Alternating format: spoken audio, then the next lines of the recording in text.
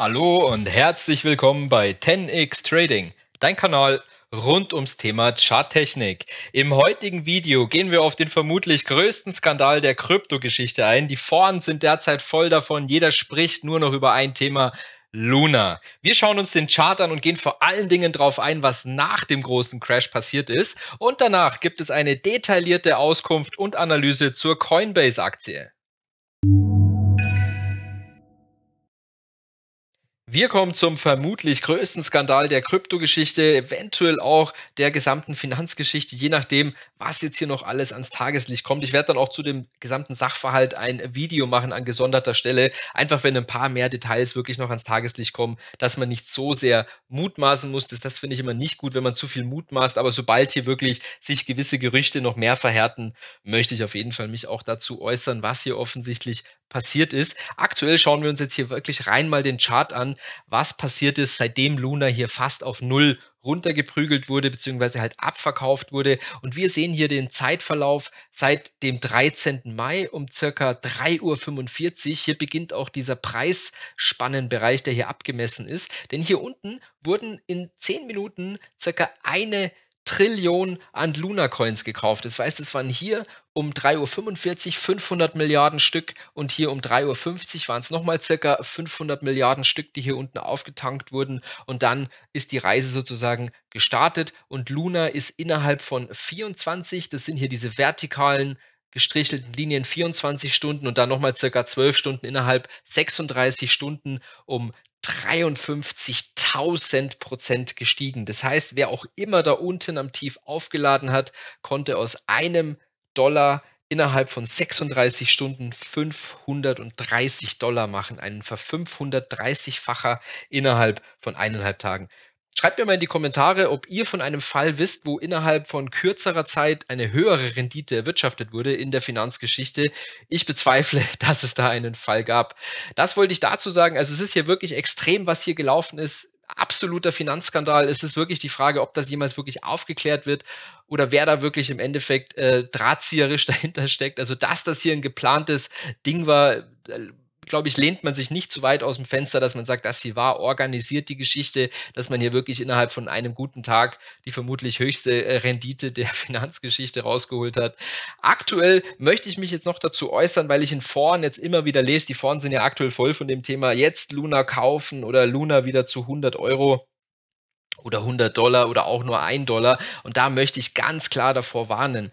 Es wurden extrem viele neue Luna Coins gemintet, das heißt neu erschaffen. Dieser Coin ist absolut verwässert. Das heißt, diese 100 Dollar, die man da mal im Kopf hat, die sind nicht im Ansatz mehr realistisch, weil es dazu einfach aktuell auf diesem aktuellen Niveau viel zu viele Luna Coins gibt. Das heißt, jeder, der hier zu träumen anfängt, dass man hier jetzt noch easy sein Geld vertausendfachen kann, absoluter Schwachsinn. Das muss man auch wirklich jedem so deutlich sagen. Ich habe gestern mal geschaut, Luna hat jetzt aktuell wieder eine Marktkapitalisierung von 2,5 Milliarden US-Dollar. Das heißt, obwohl man noch nicht mal weiß, ob dieses Projekt überhaupt bleiben wird oder ob das jetzt hier wirklich auch noch der zweite Teil dieses riesen Finanzskandals war und das Ding wieder auf Null geht, hat Luna bereits wieder 2,5 Milliarden Marktkapitalisierung auf aktuellem Niveau vielleicht noch so 1,8 Milliarden. Am Top hatte Luna, soweit ich weiß, korrigiert mich in den Kommentaren, wenn es nicht richtig ist, um die 50 Milliarden Market Cap. Das heißt, wenn überhaupt, kann man jetzt hier aus jedem Euro, den man einsetzt, sein Geld noch verdreißigfachen.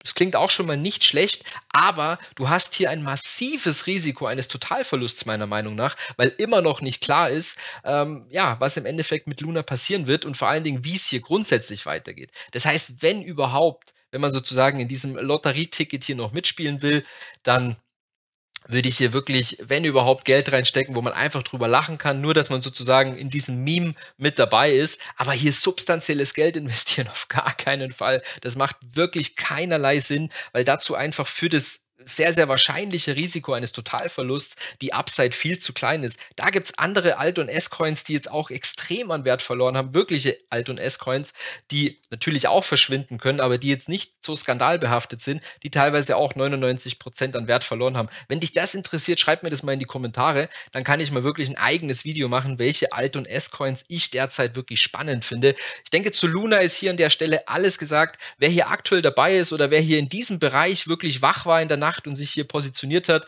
oder sich am nächsten Tag dann ein Herz gefasst hat, herzlichen Glückwunsch. Ich denke, ihr konnte mal eine super Rendite einfahren. Jetzt hier auf aktuellem Niveau hinterher springen, ich werde jetzt hier auf dem Kanal von mir dafür definitiv keine Empfehlung bekommen. Absolut nicht. Im Gegenteil, ich bitte wirklich jeden, für diesen Menschen oder für die Organisation, die sich hier unten eingekauft hat, werdet hier oben bitte nicht zum Backholder. Das heißt, lasst euch hier oben jetzt keine Luna Coins verkaufen für ein hundertfaches vom Preis, was sie hier unten waren, wo wir nicht mal wirklich offiziell wissen, ob der Coin wirklich bleiben wird. Das möchte ich dazu sagen. Ein Video über die gesamte Geschichte und den Verlauf wird demnächst kommen, wenn ich noch ein paar mehr offizielle Daten dazu habe. Bevor wir jetzt zur Coinbase-Analyse kommen, lass dem Video direkt mal ein Like da und abonniere auch den Kanal. Dann bist du in dieser entscheidenden Marktphase jetzt immer auf dem Laufenden. Wir sehen hier den gesamten Verlauf äh, von Coinbase seit dem IPO am 14. April 2021 und wir sehen hier, dass die Aktie insgesamt um 91 Prozent an Wert verloren hat seitdem. Es ist wirklich ein extremer Abverkauf passiert bei Coinbase. Mittlerweile handeln wir Coinbase auf aktuellem Niveau auch nur noch bei einem KGV von 5. Es ist wirklich der Hammer, wie diese Aktie abverkauft wurde. Wir kommen auch hier gleich auf diesen wichtigen Trendkanal zu sprechen. Den schauen wir uns auch gleich im Detail an. Also vorher ist ja die Aktie relativ äh, spektakulär oder unspektakulär seitwärts gegangen, so zwischen 300 und äh, 200 Dollar hatten dann hier nochmal einen Top bei 370 und seitdem sind wir jetzt in diesem wichtigen wichtigen Abwärtskanal, den wir uns gleich im Detail anschauen werden. Ich möchte hier in der Gesamtansicht nur mal auf eins hinweisen und zwar sehen wir hier rechts das sogenannte Volumenprofil. Das heißt, hier unten haben wir die täglichen Volumenbalken, da können wir sehen, wie viele Aktien jeden Tag gehandelt wurden, aber der rechts zeigt uns an, in diesem ausgewählten Zeitraum, also jetzt hier in dem Fall der gesamte Aktienverlauf, auf welchen Preislevels die meisten Aktien gehandelt wurden. Und da sehen wir hier ganz klar den Bereich zwischen 260 bis 220 stark dominierend. Das ist auch der Bereich, wo die Aktie hier wirklich monatelang seitwärts gegangen ist. Das heißt, es ist wenig überraschend, dass hier insgesamt auch das meiste Volumen gehandelt wurde. Aber auf was ich hier hinaus will, ist, wie unfassbar viel Volumen hier unten in der Aktie drin war in den zwei Tagen, wo wir hier unterhalb dieses Trendkanals gehandelt haben. Das heißt, für mich ist hier durchaus das sehr, sehr relevant, dass hier unten auf diesem Tief von 40 Dollar an diesem Tag am 12. Mai müsste das gewesen sein, genau, wirklich extrem viel Handelsvolumen drin war. Das stimmt mich durchaus bisschen optimistisch für die Aktie, dass sie hier unten jetzt wirklich einen signifikanten zwischenzeitlichen Boden gefunden hat. Welches äh, Kursziel bzw. welchen Verlauf ich mir jetzt aktuell vorstellen kann, dazu kommen wir gleich zu sprechen. Aber darauf wollte ich jetzt mal hier in dieser Gesamtübersicht eingehen, dass wir hier wirklich 91 Prozent abverkauft haben bei Coinbase und vor allen Dingen hier unten in dem Bereich, als wir wirklich dieses Kapitulationstief hier gesehen hatten, dass hier wirklich extrem viel Volumen drin war. Hier sehen wir jetzt diesen eben angesprochenen Trendkanal in der Detailansicht. Das heißt, wir haben jetzt hier nur noch den Ausschnitt, wo dieser Trendkanal begonnen hat. Das war im November 2021. Und dann sehen wir, dass wir auch innerhalb dieses Trendkanals diese 90 beziehungsweise knapp 90 Prozent verloren haben. Das heißt, die Aktie hat jetzt wirklich innerhalb der letzten sechs Monate 90 Prozent ihres Werts verloren. Also ist unglaublich abverkauft worden. Und auch hier sehen wir dieses Volumenprofil, was jetzt wirklich hier unten in den drei Handelstagen, wo wir jetzt hier in dem Bereich sind, unter 80 Dollar, sehen wir, dass wir hier in diesem gesamten Trendkanal, obwohl die Aktie hier auch durch, durchaus hin und wieder mal seitwärts gegangen ist, haben wir hier unten das stärkste relative Volumen. Also der Markt hat hier wirklich deutlich draufgeschaut und hat hier wirklich beschlossen, in, in der Breite diesen Preis von 40 Dollar zu kaufen. Wie würde ich jetzt hier vorgehen bei der Coinbase-Aktie oder was könnten wir tun, wer hier einsteigen will? Also grundsätzlich gesehen sind wir jetzt hier seit dem Tief, das darf man auch nicht aus den Augen verlieren, dass wir jetzt hier seit dem Tief schon bis zum Hoch 85 Prozent gestiegen sind und aufs aktuelle Niveau sind wir bei 66 Prozent im Plus. Das heißt, die Leute, die hier wirklich den Boden gekauft haben, sind jetzt, sitzen jetzt schon wieder auf Gewinnen von 50 bis 80 Prozent und da kann man in der Regel davon ausgehen, dass solche Gewinne dann auch nochmal kurzfristig realisiert werden. Das heißt jetzt nicht, dass diese erste Rallye hier sofort vorbei sein muss. Im Gegenteil, wenn wir hier mal das Fibonacci nehmen von dem Zwischenhoch und hier aufs Tief runtergehen, dann sehen wir, dass wir jetzt gerade mal beim 38er Retracement angekommen sind. Das war waren so diese 75 Dollar. Ich sage jetzt mal, diese erste Welle der Erholungsbewegung, die kann gut und gerne auch hier oben bis aufs 61er hochgehen. Das wären dann so circa 97 Dollar. Das wäre dann auch gut ein Verdoppler, sage ich jetzt mal hier vom Boden. Das ist dann schon durchaus eine sportliche Rendite. Und in der Regel kommen diese Aktien dann aber auch nochmal zurück, weil der Markt natürlich hier unten wissen will, war das jetzt hier unten Support oder war das wirklich nur eine Kauf, äh, ein Kaufinteresse aufgrund dieser Verzweiflung, die im Markt war, dass halt manche gesagt haben, komm, buy the dip und ich kaufe mir jetzt hier diese diese 40 Dollar. Also in der Regel, das ist natürlich keine Garantie. Und ähm, natürlich könnte einem die Aktie jetzt hier auch V-förmig davonlaufen, das kann ich nicht ausschließen, aber in der Regel holt sich der Markt bei solchen extremen Bewegungen durchaus nochmal eine Bestätigung ab. Wir haben hier auch ein Kursgap vom 12. Mai bis zum 13. Mai. Das ist hier praktisch im Bereich zwischen 60 und 70 Dollar. Da ist die Aktie durchaus hochgesprungen. Das heißt, diese erste Erholungsbewegung kann jetzt hier durchaus nochmal hochgehen. Hier kommt dann auch die 20-Tageslinie. Die könnten wir dann im Rahmen dieser Erholungsbewegung noch berühren. Aber grundsätzlich wäre es charttechnisch schon auch wirklich hübsch, wenn sich die Aktie dann hier doppelten Boden nochmal suchen würde, meinetwegen nochmal auf 50 Dollar zurückkommt, um einfach hier diesen Trendkanal einfach nochmal zu berühren, der ja hier wirklich vor allen Dingen an der Unterseite sehr, sehr interessante Berührungspunkte hat. Wir sind hier kurz durchgebrochen, haben uns wieder hochgekauft, haben aber auch hier ein paar Tage später nochmal einen Doppelboden gebildet. Also man sieht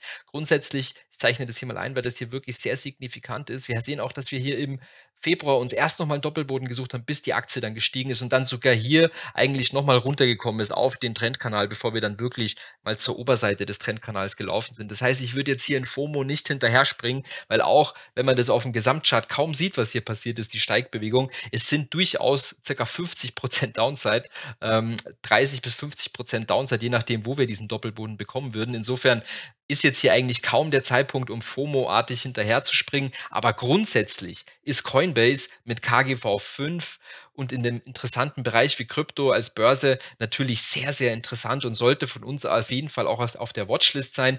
Wer hier wirklich jetzt unbedingt reinspringen möchte, der sollte hier allerhöchstens 20 Prozent seiner späteren Position in Coinbase reinlegen. Das heißt, wenn ich irgendwie sage, ich möchte hier insgesamt 5000 investieren, in der nächsten Zeit, dann würde ich jetzt maximal 1000 reinlegen als langfristige Position und hier dann wirklich sukzessive, wenn wir dann diese Bewegung bekommen, die Position weiter ausbauen und vor allen Dingen, vor allen Dingen dann in diese potenzielle Schwäche hinein weiterkaufen, bis wir dann hier dieses Doppelbodenszenario ausbilden. Grundsätzlich darf man hier nicht ignorieren, dass wir in einem übergeordneten Abwärtstrend sind. Das ist aktuell auch so, auch wenn jetzt hier diese Euphorie letzte Woche am Ende der Woche noch so groß war. Im Endeffekt sind wir nach wie vor im Abwärtstrend. Es gibt durchaus Zeichen, dass wir in gewissen Bereichen eine Bodenbildung jetzt begonnen haben, aber so eine Bodenbildung dauert in der Regel auf jeden Fall und vor allen Dingen nach so extremen Abverkäufen, wie wir sie aktuell gesehen haben.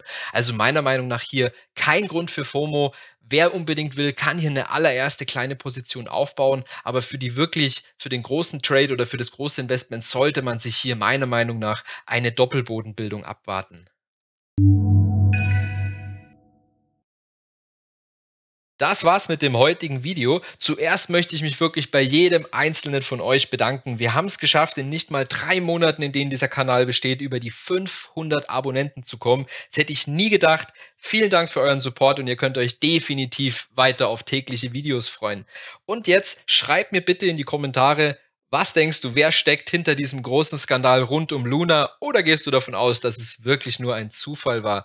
Schreib's mir in die Kommentare, das würde mich wirklich interessieren. Ich bedanke mich wie immer für deine Aufmerksamkeit und sage ciao.